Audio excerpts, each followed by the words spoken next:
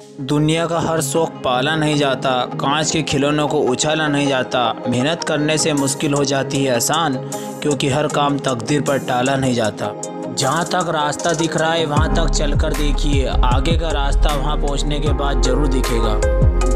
बेहतरीन और अच्छे दिनों के लिए बुरे दिनों से भी लड़ना पड़ता है। मंजिलें उन्हें नहीं मिलती है जिनके ख्वाब बड़े होते हैं, बल्कि मंजिलें उन्हें मिलती है जो अपनी जिद पे अड़े होते हैं।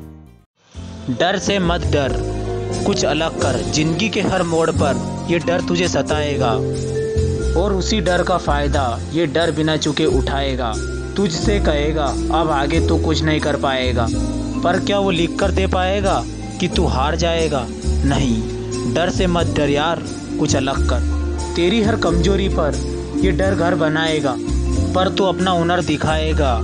उसी कमज़ोरी को तू अपनी ताकत बनाएगा और एक दिन ये डर तुझसे डर जाएगा।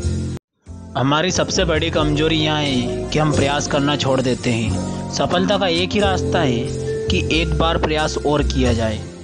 एक बात हमेशा याद रखना, जो चीज़ आपको चैलेंज करती है, वही चीज़ आपको चेंज करती है। मेहनत के आगे किस्मत की इतनी औकात नहीं कि वो तुम्हारे सपने को पूरा ना होने दे।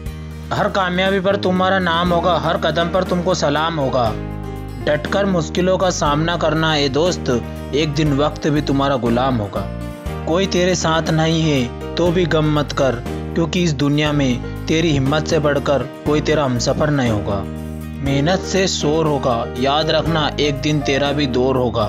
दुनिया की परवाह करना बंद कर दो, क्योंकि जिनके पास कुछ नहीं होता, ये दुनिया उसी पर हंसती है। और जिनके पास सब कुछ होता है, ये दुनिया उन पर जलती है।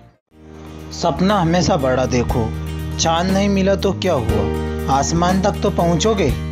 क्योंकि भागवत गीता में लिखा है, इंसान उतना ही बड़ा बन सकता है, जितना बड़ा वहाँ सोच सकता है। अगर कामयाब लोग अपने फैसले से दुनिया बदल देते हैं, जबकि नाकामयाब लोग दुनिया के डर से अपने फैसले ही बदल देते हैं। सफलता उन्हीं कामों को करने से मिलती है, जिन्हें करने में मन नहीं लगता है। उड़ने में बुराई नहीं है, आप भी उड़े, लेकिन उतना ही, जहाँ से ज़मीन साफ़ दिखाई देती हो।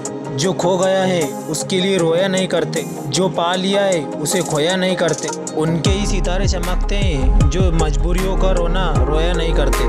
मुश्किल ज़रूर है, मगर ठहरा नहीं हूँ मैं। मंजिल से ज़रा कह दो, अभी पहुँचा नहीं हूँ मैं।